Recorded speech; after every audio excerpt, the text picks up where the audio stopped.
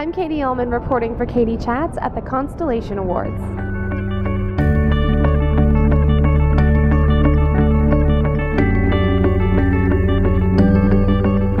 I'm here with Mark Askwith.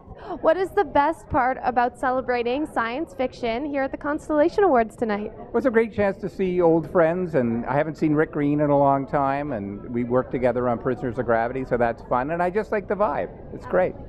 And tell me a little bit about how your BA in English from U of T helped prepare you for your career in the arts. You know, about 20 years ago, I would have said it didn't prepare me for my career whatsoever, but there isn't a day that goes by that I don't realize how uh, terrific my education was. I, w- I one of my professors was Marshall McLuhan. I'm going to mention him tonight in the speech that I'm giving. His ideas affected everything that I thought about uh, science fiction, believe it or not. And uh, so it was an honor and privilege to go to U of T, and it's a great to be able to use those skills every day. And as someone who's been sort of a pioneer in science fiction in Canada, you know, starting out working in a comic book store, I believe, and then going on to be one of the founders of the Space Channel, what advice would you give to someone who's super into science fiction and wants to pursue it as a career?